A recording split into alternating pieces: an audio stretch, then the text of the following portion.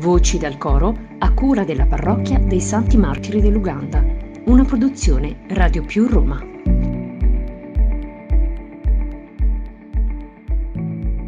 Ciao a tutti, sono Federica, ho 26 anni e vi volevo raccontare cosa significa per me far parte di un coro.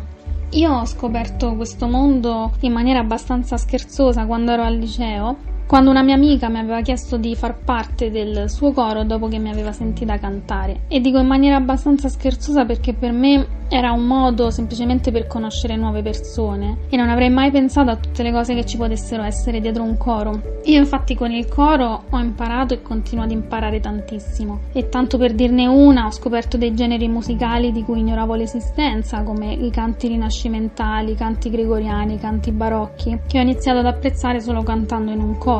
Oppure sono venuta a conoscenza di alcuni canti popolari rappresentanti di una cultura con i suoi dialetti e i suoi modi di pensare che io non avevo mai ascoltato prima. O anche riadattare canzoni moderne in chiave corale mi ha sempre lasciato delle bellissime sensazioni. Per cui con il coro posso dire di essere cresciuta da un punto di vista culturale, ma anche da un punto di vista tecnico, per gli amanti della musica, perché si impara a respirare in maniera corretta per poter cantare nella maniera migliore. Si imparano a leggere le note, si imparano a leggere i tempi, a rispettare i tempi e tante altre cose. E quello che è secondo me il più grande valore aggiunto è proprio il sapersi ascoltare all'interno di un coro, perché ci si corregge grazie all'ascolto, ci si aspetta quando qualcuno rimane indietro, cioè tutto il coro riesce ad adattarsi per rispettare i tempi ascoltando semplicemente gli altri e non si va mai a sovrastare la voce di qualcun altro, ma ci si adatta proprio in base alla voce dell'altro. E questo perché cantare in un coro non è più un cantare fine a se stesso come quando si canta sotto la doccia, ma diventa cantare per un obiettivo comune. E quando poi si canta offrendo un servizio come la domenica mattina in chiesa, l'obiettivo comune diventa proprio il riuscire a coinvolgere quante più persone possibili.